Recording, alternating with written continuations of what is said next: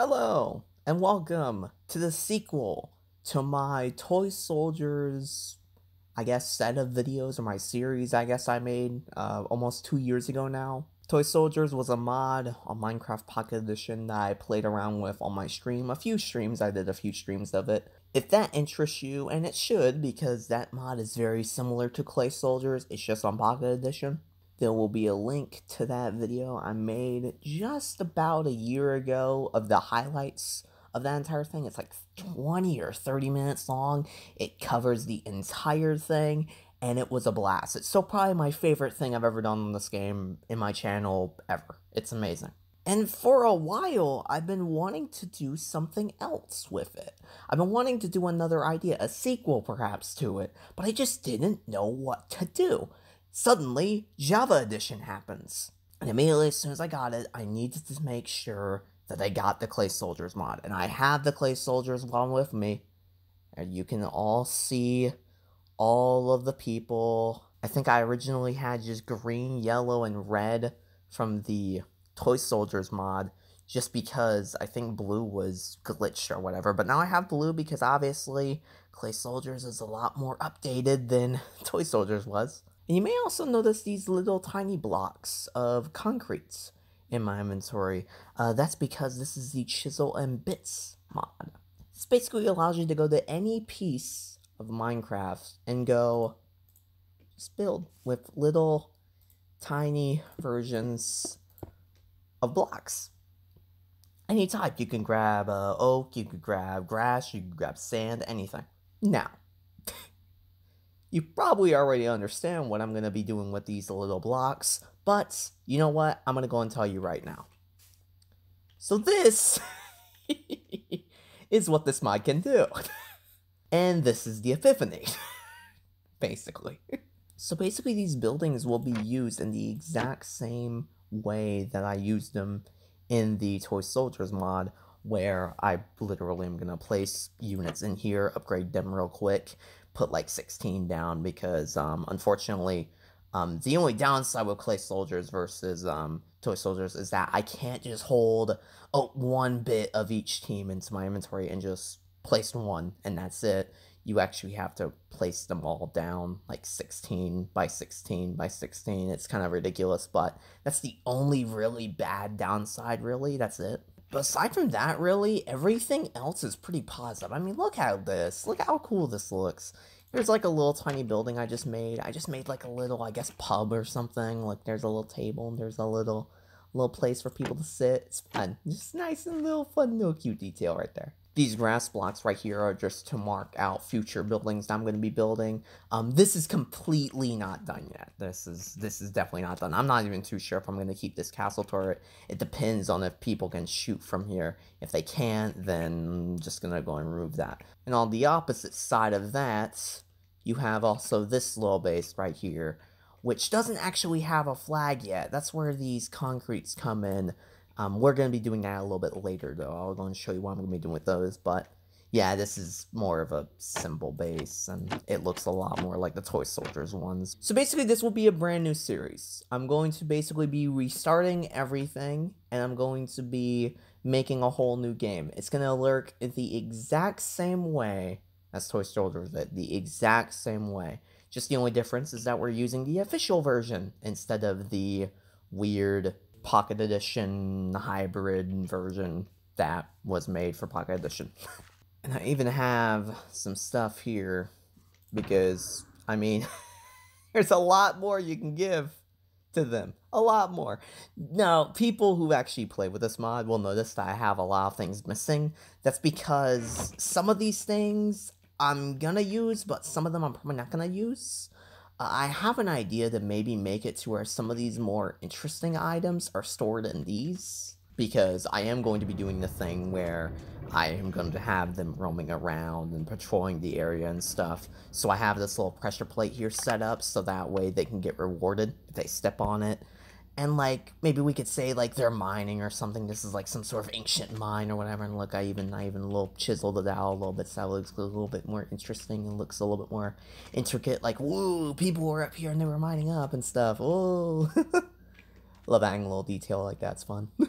Now, real quick, I'm to briefly explain every single little rule that you need to know in order to understand the series moving forward. I will be setting up these bases uh, randomly, which is why I'm having four stacks of these guys right here. Whenever one of these guys will get this base, so let's say for example yellow has a space right now, I will be putting 16 people in each of these little houses. Houses are basically the buildings that have trapdoors. So for example, if this right here, this counts as a building because it doesn't have a trapdoor that's closing it in. This, however, is a house where I can put all the units in there and they will be there. Houses will hold units that are upgraded.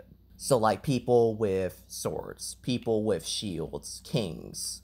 Every other unit that we place down will be unarmed for them to like patrol around the areas and stuff around the little vicinity to initiate raids. Raids are very, very simple as well. All that has to happen is you see these little fences right here and you see these little holes in between the fences. Those are there for a reason. Anytime an opposing team of whoever it is that owns this uh, base, whether it be yellow, green, if any other team walks onto the space that isn't yellow or green or whoever owns the space, if five of their units get onto the space, it will initiate a raid. Each raid will be three waves long, and it will be a last team standing will get the base and will take over the base. So not only is it clay soldiers, but it's also some sort of strategic sort of like, I guess, tower defense type thing. Where if blue takes this base and then this base, everyone else was kind of screwed.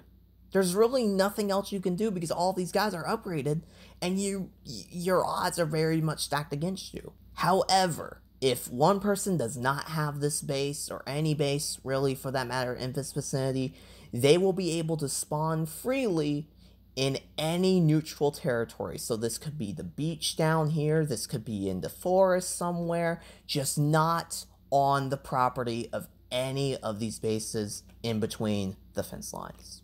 All of these people in these neutral territories will also be unarmed. Completely unarmed, no upgrades, no nothing. But that is basically the gist of it. Now what we're going to do is we're going to decide who is going to own these two bases that's going to be what this episode is going to be about. So this is part zero. The other parts, of course, will be the conflict and the actual game portion of this, you know, series and stuff. The actual main portion of it.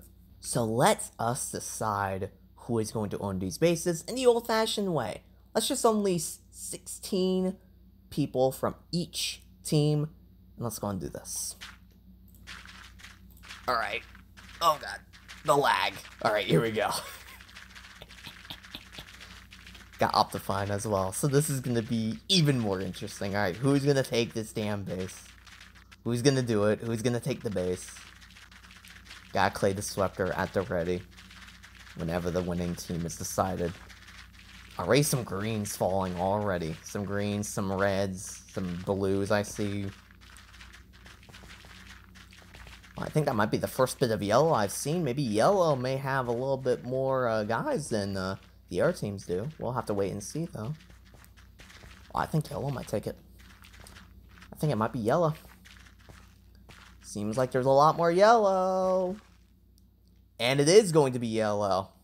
It is certainly going to be yellow, I believe. Oh! There's some stragglers. I think they were hiding near the bodies. they were hiding near the bodies. Oh, great. It's just like, it's just like toy soldiers. I need to push them in so that they actually fight each other. Come on. Fight. Go. Fight. Fight each other. Come on. Yeah. Ugh.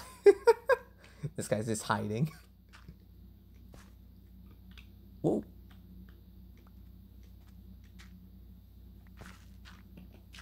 Oh, there we go. There we go. Alright. okay. Poof. Alright, so yellow will have the base and this will be Yellow's base, and we will of course be finishing Yellow's base before the next part happens. So yeah, Yellow takes that base, let's go over to base number two. Same exact thing, who will take it? Oh, we got a, we got a boy.